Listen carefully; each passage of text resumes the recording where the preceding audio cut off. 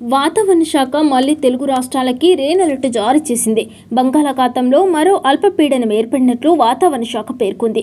దీని ప్రభావంతో తెలుగు రాష్ట్రాల్లోని పలు జిల్లాల్లో వర్షాలు కురుస్తాయని వాతావరణ శాఖ అలర్ట్ జారీ చేసింది. వచ్చే ఐదు రోజుల పాటు తెలంగాణతో పాటు ఆంధ్రప్రదేశ్లోని పలు జిల్లాల్లో ఓ మోస్తరు నుంచి భారీ వర్షాలు ఉరుములు మెరుపులతో కురిసే అవకాశం ఉందని పేర్కొంది.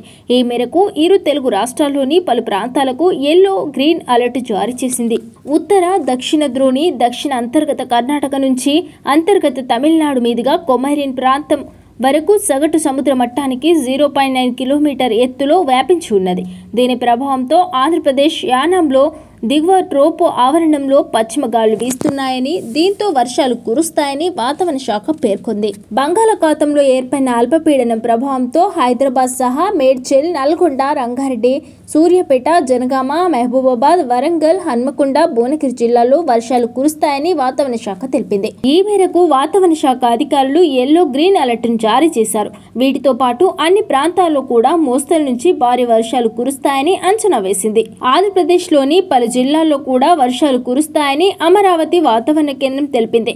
నెల్లూరు పార్వతీపురం మన్యం అల్లూరి సీతారామరాజు కాకినాడ ఏలూరు తిరుపతి జిల్లాలో తేలికపాటి నుంచి మోస్తరు వర్షాలు కురిసే అవకాశం ఉందని వాతావరణ కేంద్రం ప్రకటనలో తెలిపింది. కాగా తెలంగాణ సహా ఏపీలోని పలు ప్రాంతాల్లో శుక్రవారం వర్షాలు కురిశాయి. కొన్ని జిల్లాల్లో భారీ వర్షాలు కురిశాయి. ఇవే వర్షాలు మరికొన్ని రోజులు కంటిన్యూ అవుతాయని వాతావరణ కేంద్రం తెలిపింది.